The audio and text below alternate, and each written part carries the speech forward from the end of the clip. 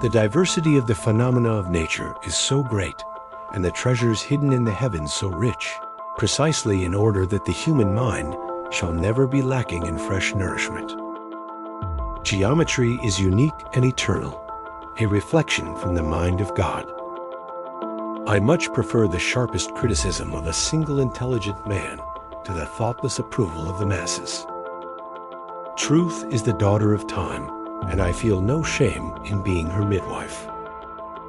The wisdom of the Lord is infinite, as are also his glory and power. My aim is to show that the heavenly machine is not a kind of divine living being, but a kind of clockwork. The study of the heavens compels the soul to look upward and leads us from this world to another.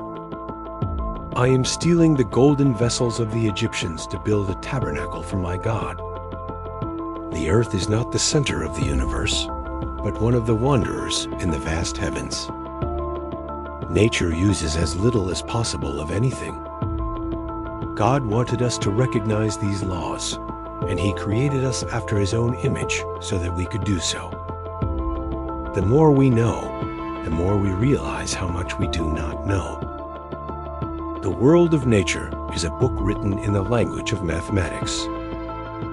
I believe only and alone in the service of Jesus Christ. In Him is all refuge and solace. God is the kind creator who brought order out of chaos.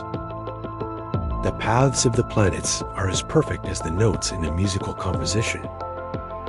I used to measure the heavens. Now I shall measure the shadows of the earth. Astronomy is the noblest of sciences. God gives every animal the means to sustain its life. When things are investigated, the knowledge of truth is perfected. I am merely thinking God's thoughts after him. God has waited 6,000 years for his work to be seen the universe is stamped with the adornment of harmonic proportions. My soul was born for science. God created the world according to number, weight, and measure.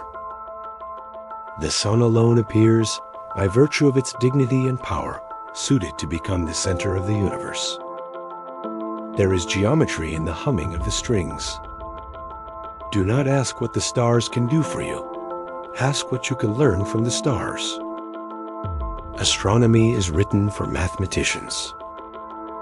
The image of God is imprinted on human reason. I felt carried away and possessed by an unutterable rapture over the divine spectacle of the heavenly harmony. It is the glory of God to conceal a thing, but the honor of kings is to search out a matter. The goal of all learning is to comprehend the harmony of the universe. Nature's simplicity and unity are admirable. There is nothing in the world that is not marvelous. I yield freely to the sacred frenzy. Reason should be preferred to the senses. Let my name perish if only the laws of the universe prevail. The world is a mirror of the divine. Music is the motion of the soul made audible. The planets move in ellipses with the sun at one focus. Faith is the eye of the soul. Order is the first law of heaven. The laws of nature are not subject to human authority. All motion is governed by proportion and measure. Nothing is lost to God. Mathematics is the archetype of the beautiful. The heavens are not silent, they sing the glory of God. Every new discovery in science is a step closer to God. In the divine ordering of things, there is no chaos. Truth is consistent, whether or not it is believed. The cosmos is the image of God expressed in number and proportion. There is a geometry inherent in the music of the stars. The universe is knowable, for it is designed with reason.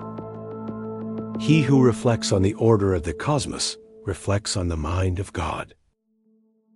Each planet sings its part in the celestial chorus.